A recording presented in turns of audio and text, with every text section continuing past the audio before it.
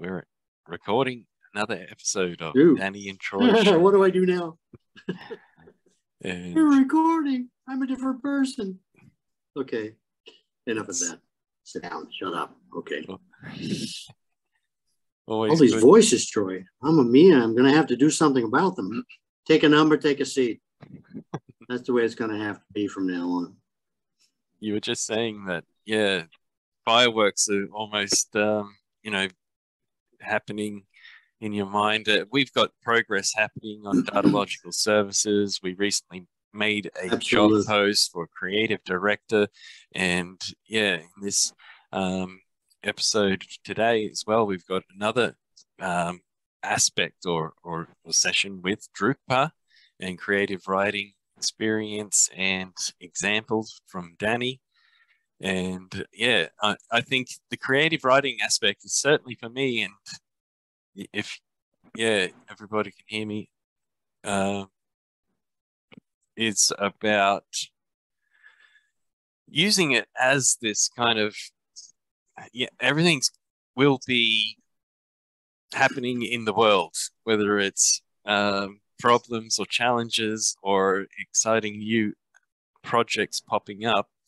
Um, but yeah, to use creative writing in a sense where we can set back and just relax and let things flow and uh, kind of a stress uh, relief. Mhm. I think this is certainly why I explore creative expression. And um, yeah, really happy to hear another uh, section of, of Danny's creative writing C section. C section. yeah, and the flow that's coming around these characters, Drukpa and Krakens and Sharks. And yeah, over to you, Danny. So, Uh, thank, thank you, Troy. You were doing so well. I was hoping you'd go on. you know, it's. I've been asking myself as I do this, and and you and I know that something is happening for us. Um, different kinds of openings, I might say, that I believe to a large extent because we do our creative expression rather freely. You know, Mhm. I, I, I hate the idea of thinking, you know, that I have to go to, would have to go to work, you know, wear a tie, which I always thought was like a boa constrictor, yeah, um, and sit in an office, you know, and play by somebody else's rules and be quiet on the phone and, you know, clean your cubicle. And I just don't see how people do it. I mean, I think I've been there, but I've mostly been like a territory manager or a project manager, you know, so I get to go out. And even when I was in LA, it was like, here, you're never in your office. And it's like, yeah, thank God. Right. yeah, I just, I don't know what I get done sitting in a swivel chair. sure, sure. It's just like, uh, I know I'll go out. And I, I had free rein because I was the creative director and all this sort of stuff and needed to meet interesting people. And uh, these interesting people um, did not have a regular schedule. Sure. You know, you didn't come in and punch a time clock. No, Uh, and for me, it's like, you know, when you go to work, when you take a project, let me put it this way, because I'm always working at doing something. Um, I'm working 24 seven because I have an objective to achieve, right? And I don't, don't look at the clock. I don't have anybody, you know, calling me every three minutes about when am I coming home or any of this other kind of stuff, which I love actually, you know, being this, uh, footloose and fancy free hmm and that for me is uh, i want to keep that aspect in the writing because whether i can see it or not and whether people believe it's relevant or not i believe that everything we do is relevant and as a result you know whether we see it or not it's having an effect because it's part of our life and those effects that are happening between you and me and our course of action. I was going to say intercourse, but that might be that might give people the wrong impression. Okay, no, I don't think so. Uh, Troy agrees with me. No, I don't think so. So um, we just it, it cleans the palate, I guess you could say, right, sure. for the next glass of wine. Mm. Um, and with that, I I always wonder where the next segment is coming from. Mm-hmm. And I always receive a message. And then when I try to do it on my own, which I started the third chapter and, and I entitled it Poor White Trash, um, I pushed it aside. It's like, no, I, am not finished yet with where the, the tail of the last chapter was. So I, in order to keep things flowing, I went back to the last chapter and added something that some people might disagree that it has nothing to do with the sentence before. But then again, I would ask that question of anybody's life. Right? Sure. Okay, you're eating a sandwich and the phone rings. Guess what? It's the same thing, yep. especially if you didn't expect it, or some hacker sends you a message and says, "Hey, I've been trying to call you, Bert. You know where you been?" And it's obviously a setup, right? Or uh-huh. Uh-huh. whatever. You know, there are endless ways yes. that people are exercising their creative impulses. Mm. Right. Okay. Yeah. Let's hack the CIA or, or whatever. It could be anything. Mm-hmm. Nevertheless, here we go. I felt, and I don't really know where to start with this, so I'm going to start at the end. Sure. And if I'm satisfied with it, or it's short enough, or it reveals enough about where I'm actually going, I'm going to stop there. if not, I've got this script marked um, previously. Let's see where it is here about you know, I've got five asterisks and a begin here. Uh, but then again, going up and trying to find that uh, is another, especially when you know I'm using notes on my mm. smartphone about where it is. I don't know where it is. I, I have to do better than that. And my Toshiba, it's just it's a pain. I, I don't like laptops anymore. But I ended up with aggregates, I believe, mm. on the last one. Yes aggregates and associations. mm-hmm. And just not to have taken this trip in vain, this section of Drupa uh, is called the omen. As we know, true Drupa is uh, seeking, waiting for, or as we say in the script, crying for a vision. Okay, so here we go. Okay the walking trees of Birnam Wood, a forest near Dunsinane Hill in Scotland. It features prominently in the tragedy Macbeth by William Shakespeare. In the play, three witches reveal to Macbeth his fate through prophecies. They suggest that he will be King of Scotland when Birnam Wood comes to Dunsinane. He was like an erect tree with reverse rooting, his brain enclosed in a knot, obviously for protection, like a burl, in the airborne structure of an obviously confused invertible.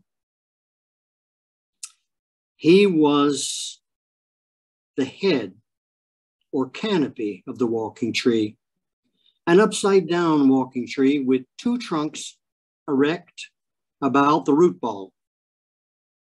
Two other branches extended from the trunk just below the crown of the canopy that looked like a nub that he had that had been healed over somewhat from storm damage. No doubt the root mass extended within the nub, which made it a curious root ball indeed. There was evidence that his foot roots or toes and the branches of an upper two branches or limbs with their more agile roots, known as fingers, had extended much before being deprived of what it took to make them structures in and of themselves upon which a double trunk was to emerge and rejoin with one much smaller root, limb, or nub, and its smaller yet burrows or knots that were now fruiting bodies, much like the sugar maples of the north that needed no tapping. Both curious limbs were obviously failed evolutionary mutations that had adapted themselves to be a little like a Venus flytrap that were sensitive to touch and would close around objects that triggered such actions through the hairs upon them. Obviously, both toes and fingers had adapted to root, but that process was ended long before they were complete. As to the upper extremities, you could see for yourself the roots were negatively geotropic.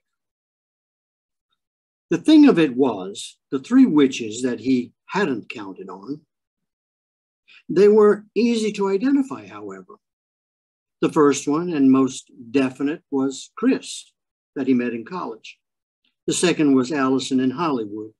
The third, third was Yelena, or Lena for short.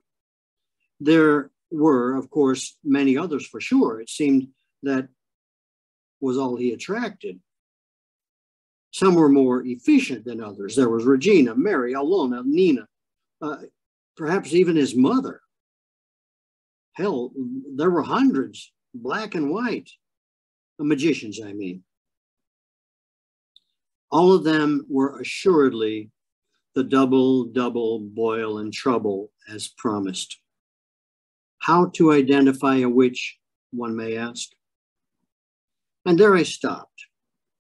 Uh, principally because this salvation, uh, I feel like justifies this rampant rant that Drukpa is going through.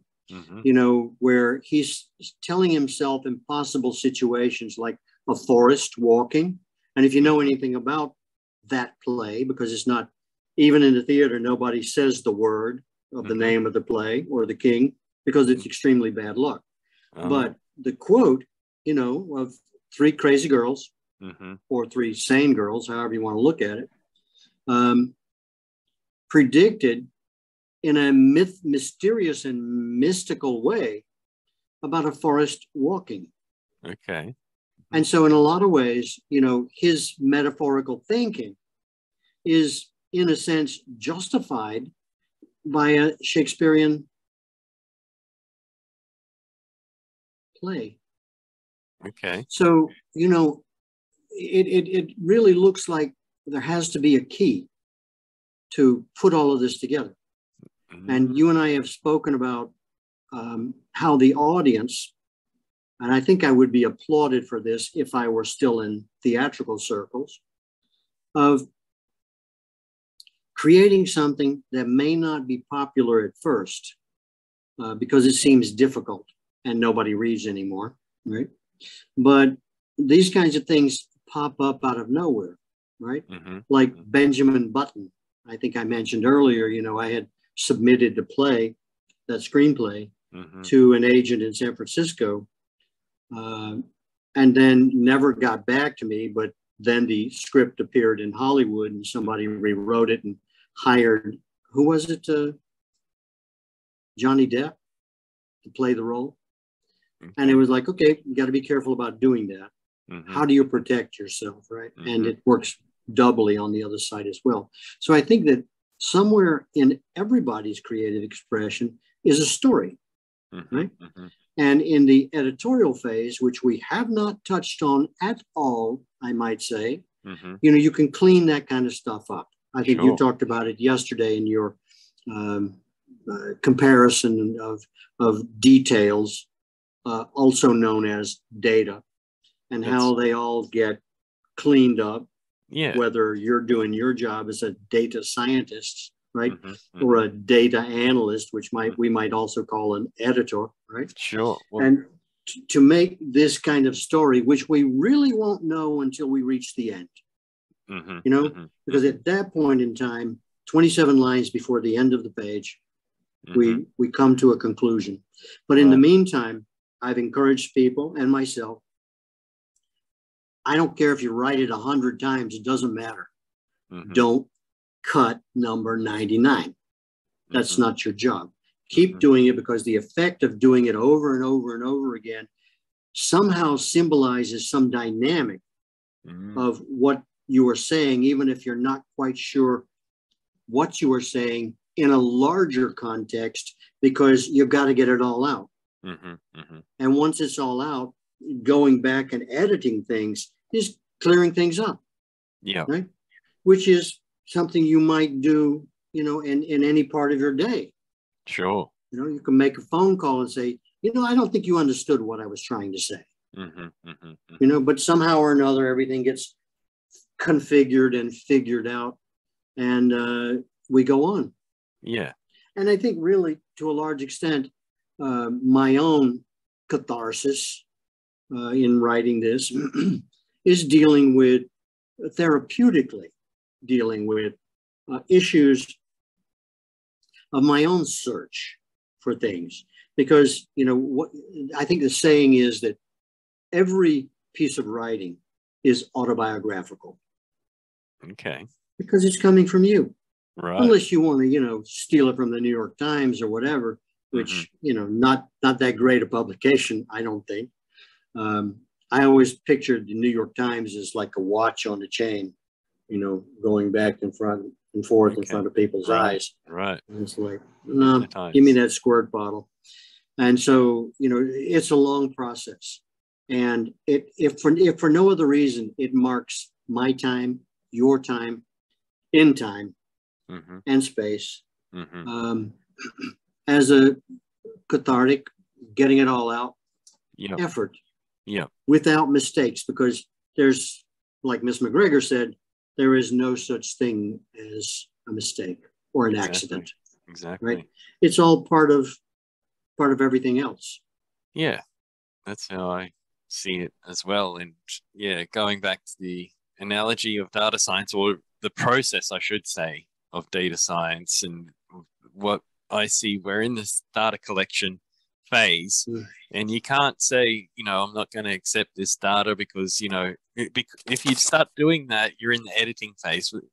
My process that I use in data science is collect the data, organize the data, package the data, and deliver the data. So there's 4 Mhm. steps, um, which yeah, which in no matter what scale of data science project or what industry or what tools you're using, there'll be always those four aspects. And yeah, what I think we're talking about is starting to organize, and that's relating to editing. So when we get there, we have to organize this data, and there may be things that you know I, I can see already where we we've touched on um, aspects uh, that could really. So whenever we talk about Drupal and his adventures and you know his musings and what's going on, I'd like to put all those pieces together, and then we've got other aspects of um, yeah, almost personal life experiences coming from you, and I can see those kind of being um, organized together. Once we organize them together, we package it in a video, and we could then say, "Hey, this is the uh, finished product, or this is a version of Danny's um, an outcome of Danny's creative writing experience, an example." And I can see, um, yeah, that being and when we come that's a way of delivering it saying you know this if you want to look at every um, all the videos they're there as well but here's a, a packaged version of the creative writing experience focusing on Drukpa's um, appearances that he made in the in the um, yeah process of that flow of information that data that came down and was recorded Right. And you know, it's it's vitally important that one establish, allow, and approve of that flow. that's right Um, right? You know, I mean, it's like you can't throw a rock in the river and expect it to dam it up without, you know, understanding that that river either has to flow around it, over it, under it, you know, Yeah. um, and you may actually need a spillway, right? Sure. If it starts flooding and creating a, a lake or something like Mhm, that mhm. but nevertheless the the beauty of things is that we're in constant change and that should give i think um, a great deal of respect to impulse Mhm, Right. mhm. if you don't follow that impulse you're going to miss it. You're going to miss something. Right? Sure. It doesn't mean uh, that it's going to end the world, right? It just no. means it it could be uh, an unexpected way that reveals something that your I don't know present way of thinking does not reveal, right? So I think it's very important. And and also uh, speaking about the forthcoming, I don't know how soon or how long uh, the editing phase it will be before the editing phase begins, but you know it's it's a little bit like what what what I'm writing about, a little bit like building a house, right? And even though this piece has qu- quite a documentary flavor, um, asking the auditor or the viewer to uh, allow it, it would be like, in some sense, where we are now, you're building a house and the documentary, even though it could be, is always, almost always commented on, would be like filming the contractors who could even go to the brick factory, you know, when they mix the, the mortar for the bricks. I mean, if, but it, nevertheless, it's all part of the process. You know what the county says about drilling, what kind of water you get, and you know ad infinitum, all the little details. Mm-hmm. But um, that's that's kind of what a book is. Not I'm not comparing myself uh, to writing a book, even though I believe that's what I'm writing. But I don't think it will come clear until I've finished, you know, uh, what it is I'm doing, and then we can make that assessment. Sure. So respect for the contractor, you know, the guy who finishes doing the plumbing, and we don't stop the camera there. Mm-hmm. We get in his truck, we follow him home. He has an argument with his wife, he kicks the dog. Mm-hmm. You know, he decides to go out with the boys and have a beer. He runs into a tree. He has to make another, you know, uh, arrangement for another truck, all to be on work, at work, on time the next morning. Mm-hmm. So, you know, you take all of that and it's like building a sandcastle, right? Each one of those little grains of sand sure. has its own life, its own shape. It's like a snowflake, right? Yes. And, you know, it's all part of the finished product. Yes. And if you are one, you can always skip it. You know, nobody says you have to read every word. Or, if, like right. I said earlier, if you know you're tired of Borodino and the Battle with Napoleon, well, just skip it. You know, get on to the love scene or mm-hmm. whatever, you know, mm-hmm. and then you can go back later if you want to. That's that's the wonderful flexibility without having to, you know, uh, what did I forget? Even forget the word. Uh, you know, when you're sliding, you know, yeah, or swipe. or swipe. That's it. Yeah. Swiping. You know, it, it's not that at all. I mean, there's something warm and cozy about a book, right? Mm-hmm, mm-hmm, that burns at Fahrenheit. What? That name of that book, right? Fahrenheit 421. Was that it? Remember that book? No. What's that? Yeah, that was Fahrenheit 4 451. I forget the, the exact title. Yeah. But that's the that's the um, temperature at which paper burns. Right. Right. What was that? Right. Fahrenheit 451. It's here. Yeah, Fahrenheit 451. 451 is a 1953 dystopian novel by American writer Ray Bradbury. Right. One I think Bradbury had something to do with Star Trek too, didn't he? A fantastic writer.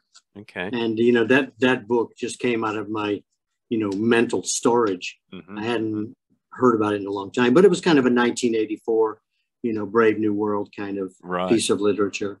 Yeah. And I would be lots of times I when I look at films on YouTube and I see that they offer how this film was made.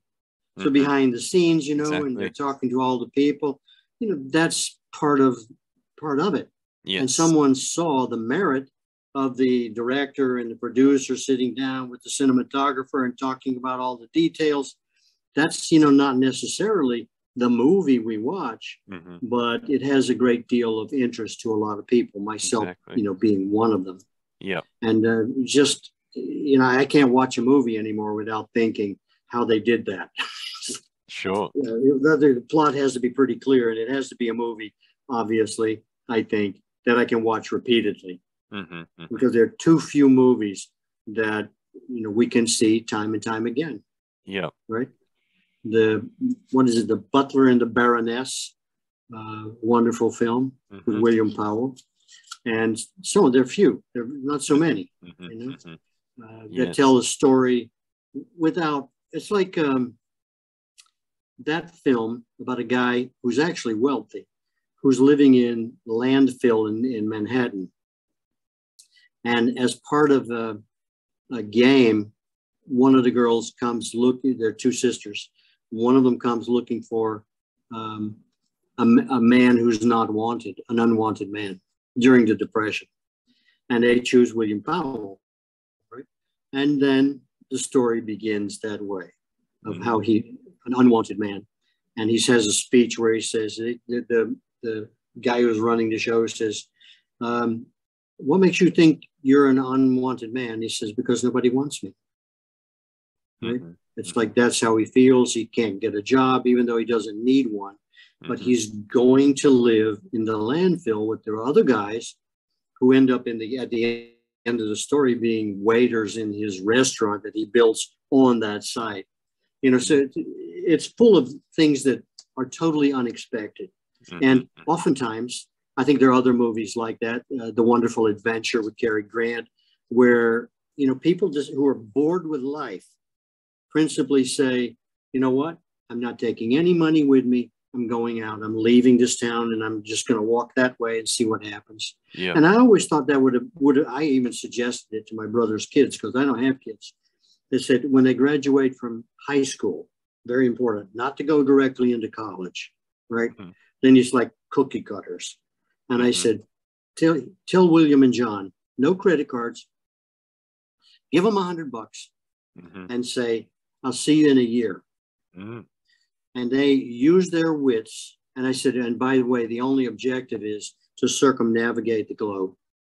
Mhm. and you're not going to do that with a hundred bucks. You know, whether you're working on working your way across the Pacific on a cattle boat or whatever it is you do. Mhm, mhm. That and that is what, had I known what I know today, that I would have required of myself Yeah. to come back at that point in time and know a little bit about what the hell life is about, Mhm, mhm. as opposed to saying, "Well, I'm going to be a doctor, so I'm going to go to you know undergrad school." And it's like, you know what you're beginning there? You're beginning undergrad. You're doing grad. You're doing internship. You're doing you know your whole. You'll be able to uh, maybe make a payment on the loan that the government is giving you to be a doctor by the time I don't know 35. Yeah, Mhm, and mhm. by God, don't marry in that time and have children, which is what my grandfather in Germany did. You know, He- we had a long, long line of of physicians, and he married. He met Charlotta, and Charlotta, which I think he was recon for uh, Red Baron, and he crashed in France and met this French girl named Charlotta Mhm. and got married and had to get out of med school and he became a famous uh, dental surgeon but his father disowned him Mhm, mhm. It's like son what son?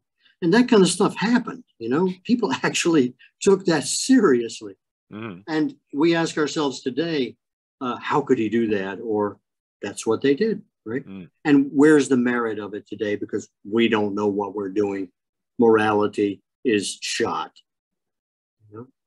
and and this i think may be a key moment for drupa when he recalls his adventures even though i didn't list marsha's name as one of the witches um, changed the man's life Okay.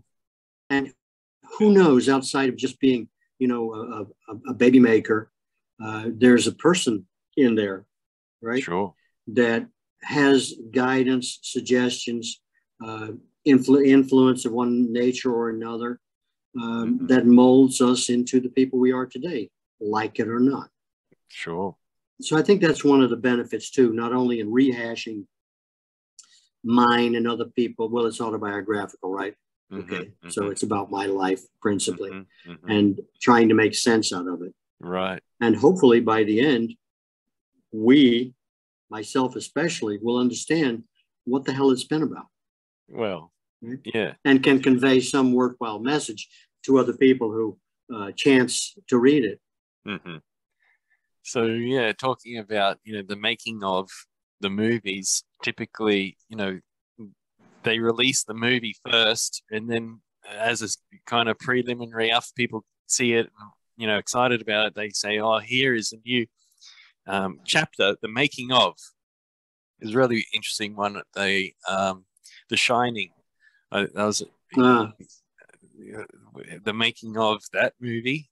Uh, yeah, about um, getting behind the scenes, and you know, but you don't want to kind of see it first because it shows you, you know, um, the actors. Uh, what, what was his name in The Shining? Uh, was that um, his uh, Jack Nicholson's? Jack Nicholson. Yeah, the way he he would go into character. It's they, Johnny. That's right.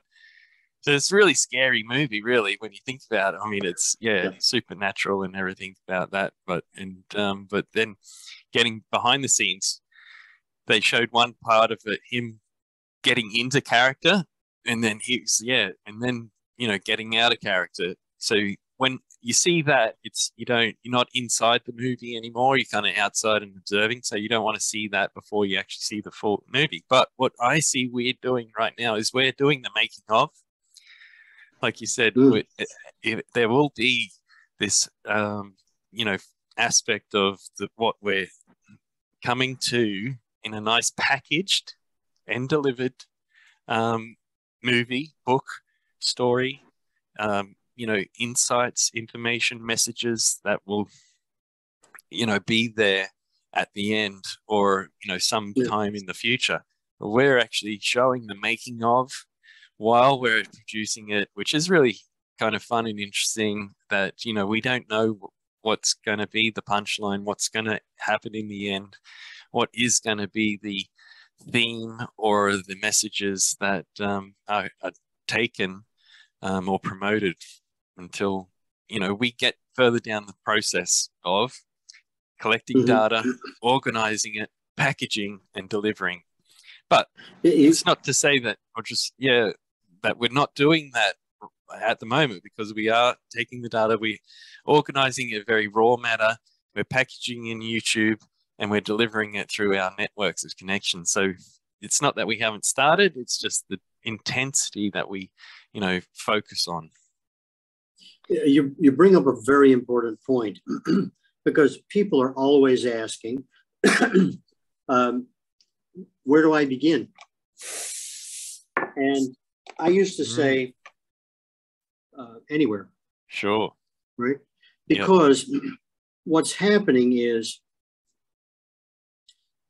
it's a compilation, right? Yes. And you're right. We're starting in the middle, start anywhere.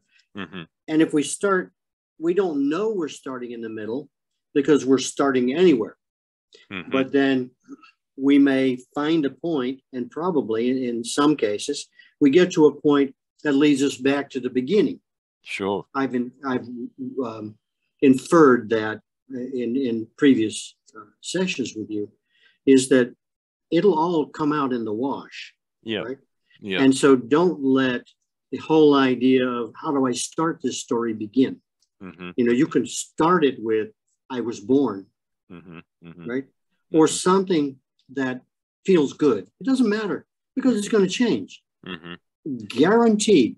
And if you don't change it, your public, your editor will, or your publisher will, or you know, anybody can. Mm-hmm, mm-hmm. I mean, I, I've seen books that have pages torn out of them. I burned a book in my fireplace in Louisville, Kentucky. Um, I think it was like I was heavy into Judaism at the time, mm. and it was title of the book was something like and ye shall be as gods. Right. You know, so I was, you know, on this whole spiritual kick and fighting between growing up as a Christian and then uh, exploring Judaism. and, you know, everything, I didn't stop there. It just kept going on. It's still going on. Yeah. I, I dumped Zazen with Drukpa. It's like, I can't sit still. That's not going to work for me. You're like, no, sit still, man, and think of nothing. It's like, I'm sorry, but I'm not Joe Biden. Can't do that. Right. I understand the old man has COVID now. Oh, really? I didn't know that. Yeah. Yeah, I tell you, I think sometimes I think uh, even the Democratic Party has realized that neither the president nor the vice president are worth anything. So I wouldn't be surprised if, you know, in the United States, we have all kinds of theories, right? Mm-hmm. Conspiracy theories. Sure. If uh, Joe Biden doesn't suddenly die, you know, they've got the Uh-oh. perfect excuse now, right? Oh, He's what, 80, a bad 80 years old or something like that, not doing well. And he's got COVID. And, you know, so you're going to have, you know, a kind of Stalin's bodyguard come in one night and go, you know, or, or much more silently than that, you know, the pillow over the face or whatever. And then, of course, they hire the right pathologist to come in and say, oh, he choked on a ham sandwich like Mama Cass, right? Give me that sandwich, you know, or they'll dispose of Kennedy's body, you know, and give false reports and all the stuff they do, which is another intrigue. yeah. But, uh, you know, today I smelled it. Right. I was like, oh man, he's on his way out because he, Okay. he's he, he's not going to be in a position to promote, you know, war with Russia through Mm. Ukraine as his Mm. proxy war. You know, he's not even Mm. there anyway. hmm hmm So they'll put somebody else in his place, Mm. Yeah. like Kamala Harris, hmm who'll yell at you all day long in her what is it? What do they call it? Word salad. Like- What did she say? it's it's like a lottery. You know, you you spin the balls around, you pull the words out, and you read them Uh-huh, one at a time, Uh-huh. and then it's supposed to make sense. It's like, well, what did she say? hmm hmm Which is kind of what Drupa is doing, right? What did he say? Mhm. What the hell is that? But Kamala, don't worry, we have an editor lined up for you. Right. Yeah. You get to read off the teleprompter, just like Joe. Or maybe they'll, or Obama will do a white face, right? Okay. And going to be Joe Biden. Mm. Who knows? it certainly is. Yeah. It's, it's in, I don't know. It's, yeah, happening, but it's kind of almost so absurd that it's really difficult to believe that it's happening. These things that, yeah, that are coming out. And, um, but anyway, yeah, we're doing our thing. So I think We, that's important is just to get on with our stuff and yeah but be um i think ultimately it datalogical services and what we're looking at in terms of creative expression giving people an option to kind of start again or step away creating new worlds creating new communities being able to be decentralized and not in power or controlled by these monopolies and global community, global kind of, um, deep state. yeah, that the, the in cahoots with mainstream media and you know these um, global companies and this yeah connection with governments that are handing doing things behind the scenes to just it seems it's all about business when we talk about um, what's going on with the wars and that it just seems like it's just a big weapons trade. They just want to make money but selling weapons so they're inventing these wars or things or problems so they can keep the money coming. So this uh, yeah it's crazy i see what's the situation is right now but it's also good to work on alternatives to give um, aspects of uh, new communities, new people being able to talk freely and creative expression, creative writing is a, a Yeah, whatever to comes that. to your mind, Exactly. right? And it, it could be like New York or LA, where if you're talking and people don't have any interest in it, they'll just start talking about something else, Yeah. I right? Just right in the middle, and you're going, "What- "What happened? What what happened?" Think, Mhm, mhm. It's like nobody will tell you. You know, it, what you were talking about wasn't interesting. They'll do that That's in. LA. You. I'm sorry, it wasn't Yeah. interesting. That's Yeah. where I think there's a, an awakening or a movement or initiatives that are coming up that is realizing, you know, I'm sorry, Troy, but what you're saying is not interesting. Sorry, I had to yeah. do that. Go ahead.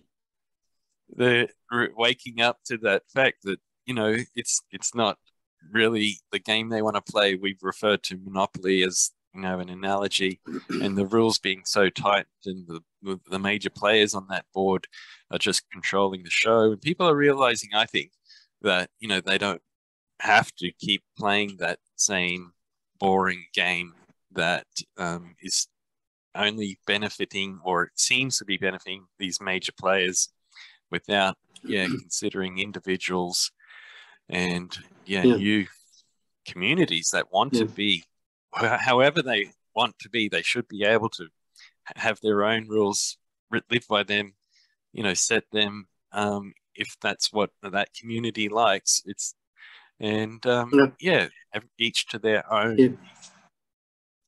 yeah if it could only be that way you know if if we didn't have so many i think trump would call them regulations right yeah we, we would have people you know starting a bar without mm-hmm. having to have you know three bathrooms, wheelchair right. access, right. you know, and all that other stuff. That yeah, like, okay, I understand it, but in know, hundred years from now, nobody will be doing that anyway, mm-hmm. right? Mm-hmm. Um, and just you know, do your thing. And of course, you know, within reason, there would probably be the, somebody in town or in the district that would come in and say, "Hey, you can't serve roadkill, man. That's that's not right." Right? Mm-hmm. Said, but people love it, man. Mm-hmm. Do you tell them it's roadkill? Uh, sometimes. it's like, God, I got a great roadkill joke for you.